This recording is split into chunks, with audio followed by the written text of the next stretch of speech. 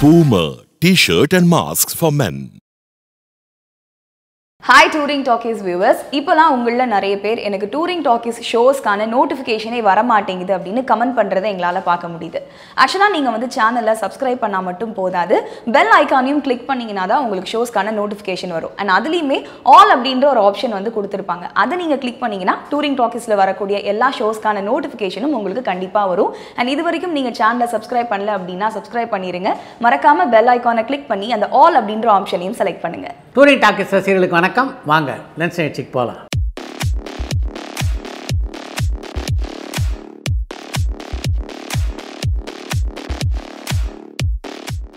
என்னம்மா முதல் கேள்வி? சார் கேடிஎம் யூஸ் பண்ணி ரிலீஸ் டேட் அன்னைக்கு தான் படம் ஓப்பன் ஆகும்னா ஓவர்சீஸில் எப்படி படங்கள் முன்னாடியே சென்சார் பண்ணப்படுது? அந்த ப்ராசஸ் பற்றி சொல்ல முடியுமான்னு மலேசியால இருந்து மகேந்திரன் கேட்டிருக்காங்க. இந்தியாவில் சென்சார் பண்ணியிருந்தாலும் வெளிநாடுகளில் இந்த படங்கள் திரையிடப்படும் போது அந்தந்த நாடுகளில் சென்சார் இருக்குது அதனால் அந்த சென்சார் செய்வதற்கு வசதியாக இந்த பிரதியை வந்து முதல்லையே அந்தந்த நாடுகளுக்கு அமுச்சு வச்சுருவாங்க.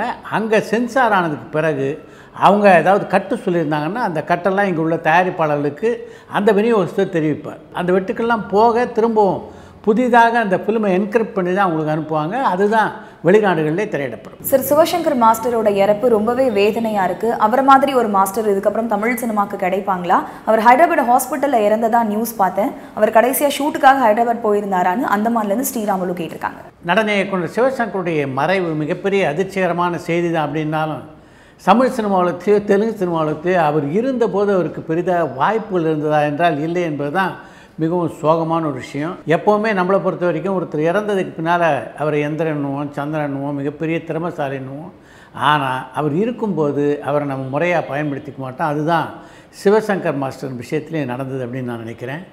அவரை பொறுத்த வரைக்கும் தமிழில் வாய்ப்புகள் இல்லாததன் காரணமாக தான் சமீப காலமாக ஹைதராபாத்தில் தங்கியிருந்தார். அங்கேயே அவர் இந்த மரணத்தையும் எதிர்கொள்ள வேண்டிய ஒரு சூழ்நிலை அவருக்கு அமைந்து விட்டது சார் இப்போ தமிழ் சினிமால இருக்க சமந்தா ராஷ்மிகா மந்தனா நிக்கி கல்ராணி அதித்தி ராவ் இவங்கள டாம் பாய் கேரக்டர்ல யார் நடிச்சா நல்லா இருக்கும்னு நீங்க நினைக்கிறீங்கன்னு சென்னையில இருந்து மோனிஷ் கேட்டிருக்காங்க. நீங்கள் குறிப்பிட்டிருக்கின்ற நான்கு கதாநாயகிகளில் நிச்சயமாக சமந்தா தான் இதுக்கு best choice sir Venkat Prabhu direct பண்ண மாநாடு படம் இப்போ ரொம்ப சூப்பராக போயிட்டு இருக்கு அவர் எப்போவோ டைரக்ட் பண்ணி முடிச்ச பார்ட்டி படம் இப்போ ரிலீஸ் ஆக வாய்ப்பு இருக்கான்னு மைசூர்லேருந்து ஆனந்த் கேட்டிருக்காங்க. வெங்கட் பிரபுடைய இயக்கத்திலே உருவாகி இருக்கின்ற மாநாடு திரைப்படம் மிகப்பெரிய வெற்றி படமாக அமைஞ்சிருக்கிறதுனால அதன் தொடர்ச்சியாக பார்ட்டி திரைப்படம் தான் நிச்சயமாக அதுக்கு ரசிகர் மத்தியில் மிகுந்த வரவேற்பு இருக்குன்னு உங்களுக்கு எப்படி தெரியுதோ அது மாதிரி அந்த படத்தினுடைய தயாரிப்பாளரான டி சிவாவுக்கும் தெரியும் இல்லையா? அதனால் நிச்சயமாக அதற்கான ஏற்பாட்டில் அவர் இறங்கியிருப்பார். மிக விரைவிலே அதற்கான அறிவிப்பு வரும் என்று நாம் எதிர்பார்க்கலாம். சார் டைரக்டர் பாலு மகேந்திரா அவர் டைரக்ட் பண்ண கடைசி படம் வரைக்கும் வெறும் நேச்சுரல் லைட்டிங்ல மட்டும்தான் ஷூட் பண்ணாரா? இது மாதிரி வேற டேரக்டரோ இல்ல கேமராமேனோ பண்ணியிருக்காங்களான்னு மைசூர்ல இருந்து ஆனந்த் கேட்டிருக்காங்க. பாலுமேந்திராவை பொறுத்த வரைக்கும் ஒளிப்பதிவிலே பல புதுமைகளை புகுத்தியவர் அவர். அவருடைய டைரக்ஷன்லேயும் பார்த்தீங்கன்னா படப்பிடிப்பு தளத்தில் ஒரு சின்ன சத்தம் கூட இருக்காது. நானும் இத்தனை வருட அனுபவங்களில் பல படப்பிடிப்புகளுக்கு போயிருக்கேன். எங்கே பார்த்தாலும் இங்கே ரெண்டு பேர் பேசிகிட்டு இருப்பாங்க அங்கே ரெண்டு பேர் பேசிட்டு இருப்பாங்க இங்கேருந்து ஒருத்தர் சத்தம் போடுவார். இது போன்ற எந்த சத்தமும் இருக்காது. மூன்றாம் படை படத்தினுடைய படப்பிடிப்பு பெங்களூர்லேயே ஒரு ஹோட்டல் அறையை நடைபெற்று கொண்டிருந்த போது அந்த படப்பிடிப்பை பார்க்கக்கூடிய வாய்ப்பு பாரதி ராஜாவுக்கு எனக்கு கிடைச்சது. பாரதி ராஜாவுடன் நானும் அந்த படப்பிடிப்புக்கு போயிருந்தேன். பின் ட்ராப் சைலன்ஸ்னால் அப்படி ஒரு சைலன்ஸு அது மட்டும் இல்லாமல் அந்த அறையிலேயே பார்த்திங்கன்னா மொத்தமே ஒரு எட்டு பேர் இருந்திருப்போம். கமல்ஹாசன் ஸ்ரீதேவி தவிர தொழில்நுட்ப கலைஞர்னு பார்த்தீங்கன்னா மொத்தமாக ஆறு பேர் தான் இருப்பாங்க அந்த அறையில். அந்த அளவுக்கு மிகவும் கட்டுப்பாடாக படப்பிடிப்பு நடத்தியவர் தான் பாலுமேந்திரா பாலுமேந்திரா வீடாக ஒளிப்பதிவிலே யாரையும் என்னால் சொல்ல முடியல. உங்களுடைய கேள்வியில் குறிப்பிட்டிருக்க மாதிரி பாலுமேந்திராவை பொறுத்த வரைக்கும் பெரும்பாலும் நேச்சுரல் லைட்டிங்கில் தான் அவர் படமாக்குவார். அவரை பின்பற்றி இப்போ யாரும் அதை செய்கிற மாதிரி தெரியல. சார் ஐமேக்ஸ் அப்படின்னா என்ன? ஐமேக்ஸ் டெக்னாலஜி இருக்கக்கூடிய தேட்டர்ஸ்ல நாம படம் பார்க்கறதுக்கும் மற்ற தேட்டர்ஸ்ல நம்ம படம் பார்க்கறதுக்கும் இருக்கக்கூடிய வித்தியாசம் என்னன்னு சிங்கப்பூர்ல இருந்து விக்கி கேட்டிருக்காங்க. சாதாரணமாக நீங்கள் திரையரங்கில் பார்க்குற படம் இருக்குது அது தேர்ட்டி ஃபைவ் எம்எம் ஃபிலிம் இந்த ஐமேக்ஸ் திரைப்படம் அப்படின்றது நீங்கள் சாதாரணமாக பார்க்கின்ற படங்களைப் போல ஒன்பது மடங்கு பெரியது. பொதுவாக பார்த்தீங்கன்னா 70 எம்எம் படம் இருக்குது அது இந்த தேர்ட்டி ஃபைவ் எம்எம் படத்தை விட பிரம்மாண்டமானது அப்படின்னு உங்கள் எல்லாருக்கும் நல்லா தெரியும். இந்த 70 எம்எம் படத்தை போல மூன்று மடங்கு பிரம்மாண்டமானது தான் ஐமேக்ஸ் அப்படின்னும் போது அதனுடைய வீச்சு எப்படிப்பட்டது அப்படின்றத நீங்கள் எளிதிலே புரிந்து கொள்ளலாம். சார் சில்க் ஸ்மிதா குயிலி மாதிரி இப்ப இருக்கக்கூடிய கவர்ச்சி நடிகைகள் யாருன்னு சென்னையில இருந்து குணா கேட்டிருக்காங்க. இப்போ அந்த பட்டியலில் பல நடிகைகள் இருக்காங்க. நயன்தாராவை சொல்லலாம் ராஷ்மிகா பந்தனாவை சொல்லலாம் சமந்தாவை சொல்லலாம். ஏன்னா இப்போ கவர்ச்சி நடிகை வேறு கதாநாயகி வேறு இல்லை அப்படின்ற ஒரு காலம் ஆயிடுச்சு. இப்போ கதாநாயகர் திரைப்படங்களில் காட்டுகின்ற கவர்ச்சி இருக்க அது இந்த கவர்ச்சி நடிகைகள் காட்டியதைப் போல நூறு மடங்கு அதிகம் இருக்கிறது அப்படின்றது தான் உண்மை. சார் மாநாடு படத்தை பார்த்துட்டு ரஜினிகாந்த் சிம்புக்கு கால் பண்ணி பேசினதாவும் அதுக்கு முன்னாடி அவங்களுக்கு சின்ன சின்ன மனக்கசப்புகள் இருந்ததாவும் தகவல் இருக்கே அது உண்மையானு கமாலப்பட்டியிலேருந்து இளஞ்செழியன் கேட்டிருக்காங்க. மாநாடு திரைப்படத்தை பார்த்துட்டு சிம்புவுக்கு ஃபோன் பண்ணி ரஜினிகாந்த் பாராட்டியது உண்மை. ரஜினிகாந்த்கிட்ட உள்ள மிகச்சிறந்த பண்பு இதுதான். ஒரு படத்தை பார்த்தாருன்னா அந்த படம் சம்மந்தப்பட்டவங்களுக்கு உடனடியாக ஃபோன் பண்ணி தன்னுடைய பாராட்டுக்களை தெரிவிப்பது ரஜினிகாந்துடைய வழக்கம். ரஜினிகாந்துக்கும் சிம்புவுக்கும் இடையே எந்த மனத்தாரும் இல்லை. இந்த மாதிரி செய்திகள்லாம் நீங்கள் எங்கேருந்து படிக்கிறீங்க அப்படின்றது தான் எனக்கு இன்னி வரைக்கும் புதுராக இருக்குது சார் எஸ். ஜே. சூர்யா இதுக்கப்புறமா வில்லன் நடிகராவே மாறிடுவாரான்னு கோயம்புத்தூர்ல இருந்து குமார் கேட்டிருக்காங்க. நீங்கள் கேட்டிருக்க மாதிரி தவறான எண்ணம் யாருக்கும் வந்துடக்கூடாதுன்றதாலோ என்னவோ இந்த மாநாடு திரைப்படத்தினுடைய அறிமுக விழாவிலேயே இனி வந்து எஸ் ஜே சூர்யாவை தொடர்ந்து பல படங்களில் வில்லனாக பார்க்கலாம் அப்படின்னு தயாரிப்பாளர் டி சிவா குறிப்பிட்ட போது உடனடியாக அதை மறுத்தார் எஸ் ஜே சூர்யா. நான் ஒரு பக்கம் கதனா நான் நடிச்சிட்டு இருக்கேன் இன்னொரு பக்கம் வில்லனாக நடிச்சிட்டு இருக்கேன் அதனால் என்னை வில்லனாக்கிடாதீங்க. இப்படி பலதரப்பட்ட பாத்திரங்களில் நடிக்கணுன்றது தான் என்னுடைய ஆசை என்பதை மிகச் சரியாக அந்த மேடையிலே தெளிவுபடுத்தினார் அவர். சார் நயன்தாரா மாநாடு படம் பார்த்துருப்பாங்களான்னு சென்னையில இருந்து காவியா கேட்டிருக்காங்க. வருஷத்துக்கு தமிழில் இரநூறு படம் வெளியாகுது. ஆல் இண்டியாவில் பார்த்தீங்கன்னா இது மாதிரி பல மடங்கு படங்கள் வெளியாகுது. இதில் மாநாடு படத்தை மட்டும் நயன்தாரா பார்த்தாரேன்னு என்ன கேள்வி? மாநாடு படத்தையும் நயன்தாரா பார்த்துருப்பார் நிச்சயமாக சார் மகள் திருமேனி அண்ட் உதயநிதி ஸ்டாலின் ப்ராஜெக்ட் இப்போ எந்த ஸ்டேஜில் இருக்குன்னு நாமக்கல்ல இருந்து திவாகரன் கேட்டிருக்காங்க. மகிழ் திருமணியுடைய இயக்கத்தில் உதயநிதி ஸ்டாலின் எடுத்துக் கொண்டிருக்கின்ற படத்தினுடைய படப்பிடிப்பு ஏறக்குறைய முடிவடைகின்ற கட்டத்தை நெருங்கிவிட்டது. அடுத்த ஆண்டுடைய துவக்கத்திலே அந்த படம் வெளியாக வாய்ப்பு இருக்குது சார் ஹெச் வினோத் டைரக்ஷன்ல அஜித் அடுத்ததா நடிக்கிற படத்துல யுவன் சங்கர் ராஜாக்கு பதிலா அனிருத் தான் மியூசிக் டைரக்ட் பண்றாருன்னு ஒரு நியூஸ் பார்த்தேன். அது உண்மையா?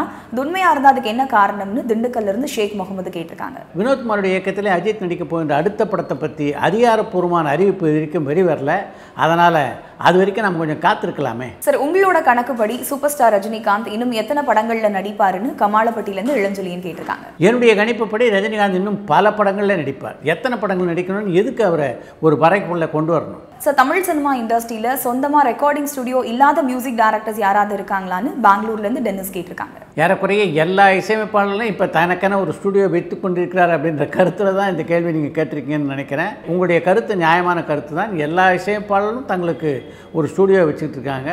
ஏன்னா முன்ன மாதிரி ஸ்டூடியோக்கெல்லாம் இப்போ ஒரு ஏக்கரான இடமோ ஒரு பத்து கிரவுண்ட் இடமோ தேவையில்லை. ஒரு நல்ல அறையும் கம்ப்யூட்டரும் ஒரு கீபோர்டும் இருந்தால் போதும் அப்படின்ற மாதிரி ஒரு நிலைமை இப்போ உருவாகிருக்கிறதுனால எல்லா இசையமைப்பாளரும் தங்களுக்கென்று ஒரு ஸ்டுடியோ வைத்திருக்கிறார்கள் அப்படின்றது தான் உண்மை. சார் பொதுவா சாட்டர்டே சண்டேஸ்ல கமல்ஹாசன் ஷோ ஹோஸ்ட் பண்ணும்போது மட்டும்தான் பிக் பாஸை நீங்க பார்ப்பேன் அப்படின்னு சொல்லியிருந்தீங்க. Last week Ramya Krishnan host பண்ணதை பார்த்தீங்களா? அவங்க எப்படி பண்ணாங்க? அதை பத்தி உங்களோட கருத்து என்னன்னு திண்டுக்கல்ல இருந்து அசோக்குமார் கேட்டிருக்காங்க. ரம்யா கிருஷ்ணன் கலந்து கொண்ட பிக் பாஸ் நிகழ்ச்சியும் சிறிது நேரம் நான் பார்த்தேன். அந்த நிகழ்ச்சியை பார்த்தபோது ரம்யா கிருஷ்ணன் இன்னும் கொஞ்சம் ஹோம்ஒர்க் பண்ணிட்டு வந்திருக்கலாமோ அப்படின்ற எண்ணம் எனக்குள்ளே தோன்றியது. சார் அண்ணாத்த படம் பார்த்தேன் இமானோட மியூசிக் டிராமா சாயல்ல இருந்துச்சு. அதுதான் படத்துக்கு பெரிய டிராபேக் அப்படின்னு நான் நினைக்கிறேன். இதை பத்தி உங்களோட கருத்து என்னன்னு சிங்கப்பூர்ல இருந்து பாலா கேட்டிருக்காங்க. உங்களுடைய விமர்சனம் ஒரு நடுநிலையான விமர்சனமாக எனக்கு தெரியல. என்னை பொறுத்த வரைக்கும் இமானுடைய பின்னணி இசை அந்த படத்தில் மிகச்சிறப்பாகவே அமைந்திருந்ததாக நான் நினைக்கிறேன். சார் நடிகர் சுருளிராஜன் கூட உங்களுக்கு பழக்கம் எப்படி இருந்தது? அவரை பத்தி சொல்லுங்கன்னு கோயம்புத்தூர்ல இருந்து சுரேஷ் கேட்டிருக்காங்க. சுள்ளிராஜனோட மிகவும் நெருக்கமாக பழகக்கூடிய வாய்ப்பு எனக்கு கிடைச்சிருக்கு. அவரோட பல வெளிப்புற படப்பிடிப்புலேயே நான் கலந்து கொண்டிருக்கிறேன். சுனில்ராஜனுடைய மிகப்பெரிய பலமே அவருடைய வாய்ஸ் தான்.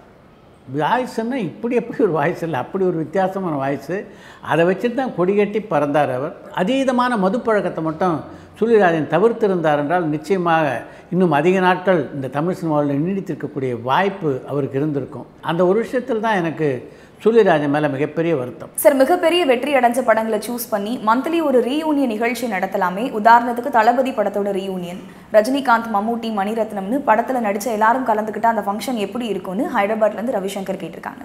நீங்கள் சொல்லியிருக்கிறது ஒரு அருமையான யோசனை. ஆனால் நீங்கள் சொல்லியிருக்க ஆட்களுடைய பெயரெல்லாம் பாருங்கள் இவங்களை எல்லாம் ஒன்று சேர்ப்பதற்கு நிச்சயமாக அதுக்கு ஒரு தலைமை வேண்டும். அப்படி யாராவது முயற்சி பண்ணாங்கன்னா தான் அது நடக்க வாய்ப்பு இருக்குது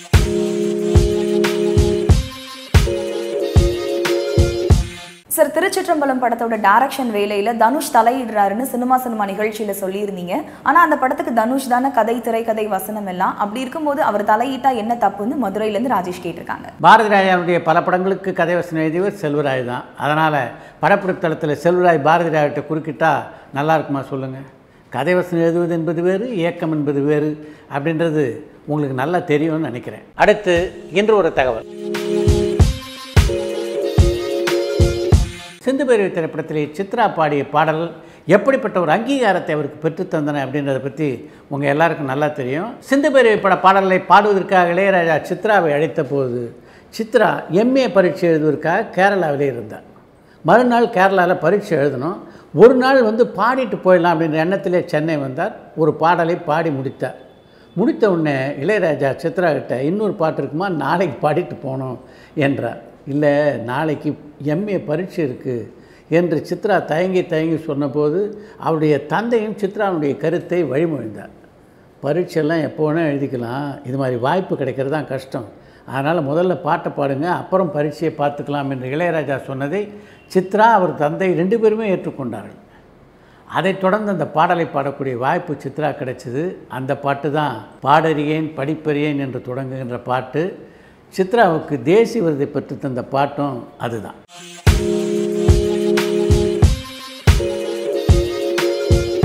இத்துடன் இன்றைய லஞ்ச் நிகழ்ச்சி நிறைவு பெறுகிறது மீண்டும் அடுத்த லஞ்ச் நிகழ்ச்சியிலே சந்திப்போம். பரபரப்பான சினிமா செய்திகள் நட்சத்திரங்களின் பேட்டிகள் சினிமா வரலாறு ஆகியவற்றை பார்க்கவும் படிக்கவும் உங்களுக்கான இணையதளம் tour and talkies dot co